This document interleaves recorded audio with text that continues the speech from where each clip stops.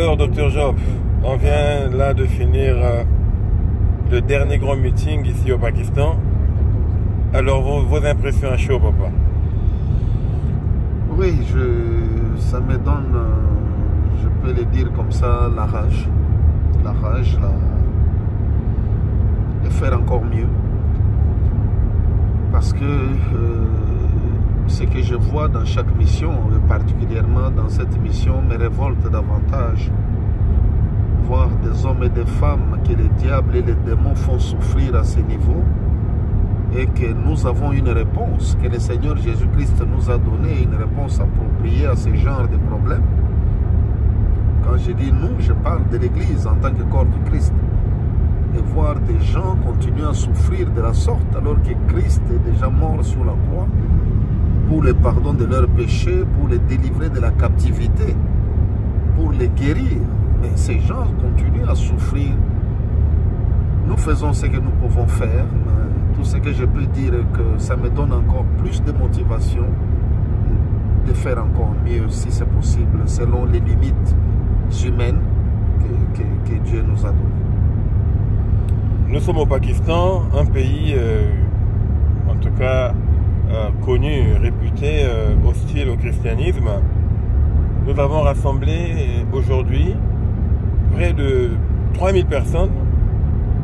Et hier encore, nous étions autour de 3000 personnes ici au Pakistan. Le Seigneur Jésus-Christ a fait quelque chose de grand, homme de Dieu.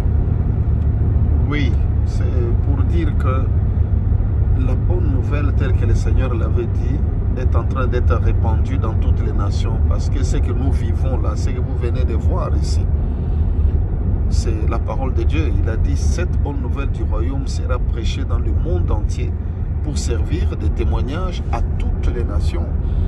Il a bien dit à toutes les nations.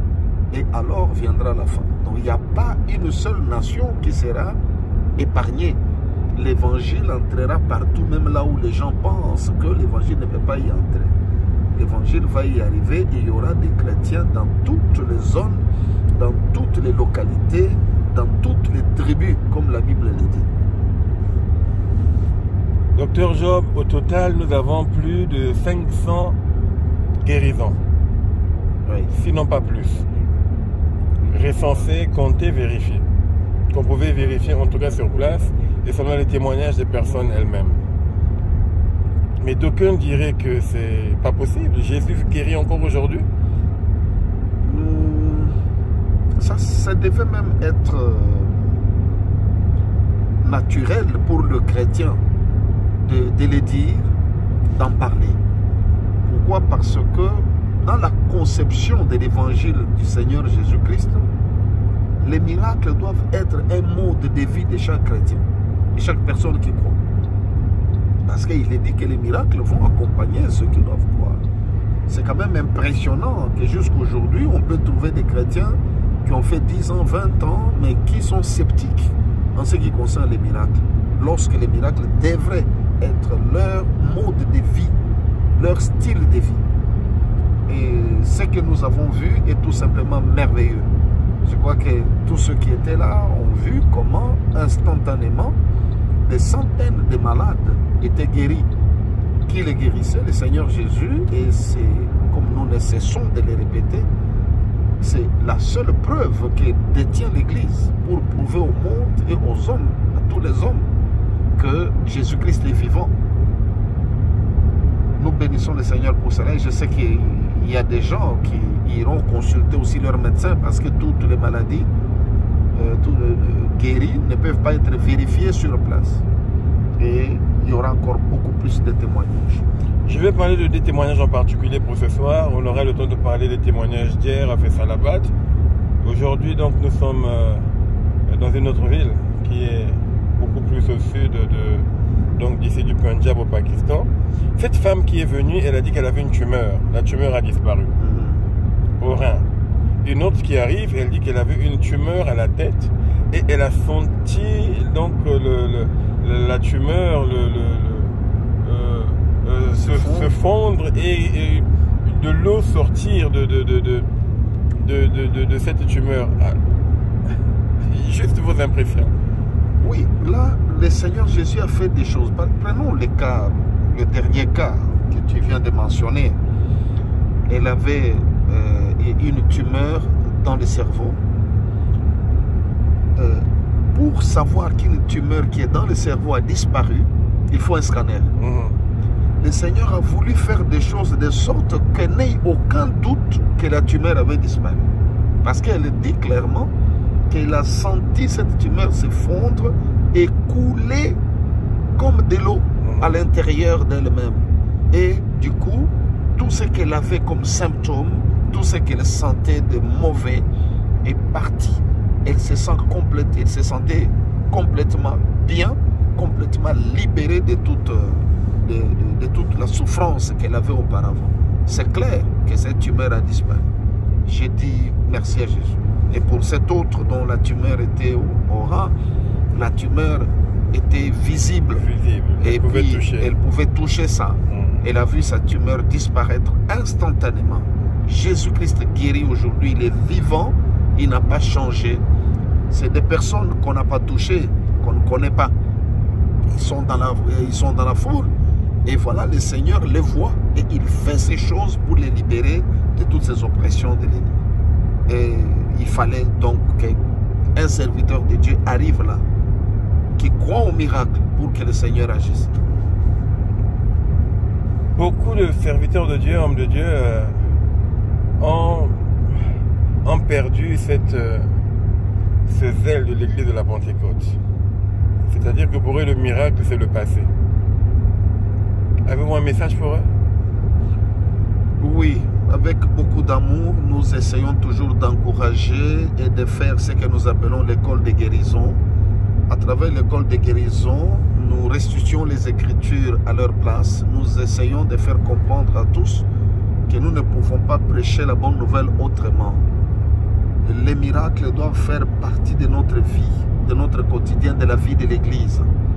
Il n'est pas question de devenir de simples professeurs de religion, des discoureurs. Il est important que Jésus-Christ soit présenté tel qu'il a été, tel qu'il a vécu ici sur la terre. Et les évangiles sont clairs. Lui-même, quand il envoie ses disciples, il est suffisamment clair. Il dit prêchez la bonne nouvelle du royaume, guérissez les malades, chassez les démons. Il ne dit pas autre chose.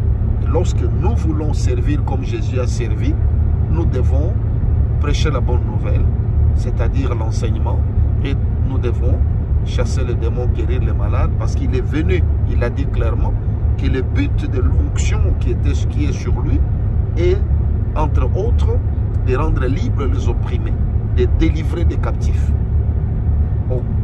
Possédé, par exemple, ne peut hériter du royaume de Dieu s'il n'est pas délivré.